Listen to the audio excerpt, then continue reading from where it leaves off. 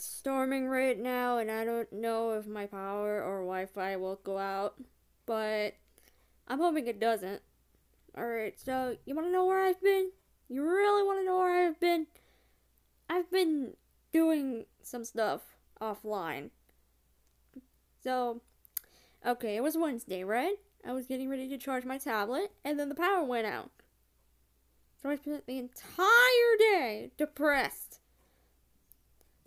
Yeah, I, I spent the entire day depressed.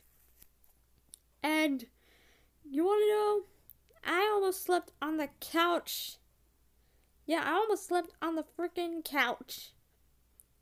So, like, uh, yesterday came and, um, the power came back. Surprisingly. So did the Wi Fi. The Wi Fi came back for a little bit before it, uh, went bye bye.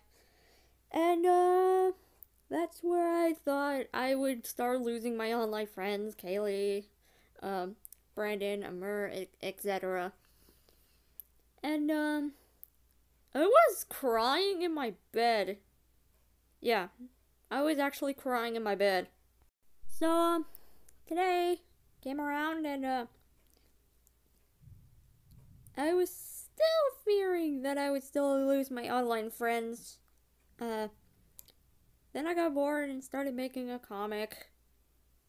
I can't tell you what it is because it's secret. I don't know. Um, anyway, so I probably won't make content for a while, but uh, hear me out.